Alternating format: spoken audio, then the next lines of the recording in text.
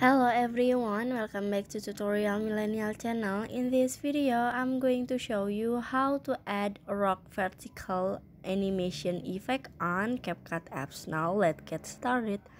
After you add the video that you want to edit, you just click on the uh, clip on your uh, video and then in here you just click on animation at the bottom. Click on in and then in here you just swipe until you can see a rock verticality rock vertical vertically vertically. Mm, this one.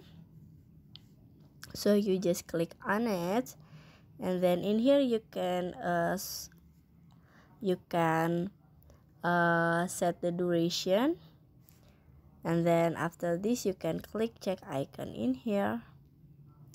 And finish so that how to add uh, opening rock vertically animation effect on CapCut apps. And then I hope you found this video to be helpful. If you enjoy with the content please consider like comment and subscribe down below. Bye bye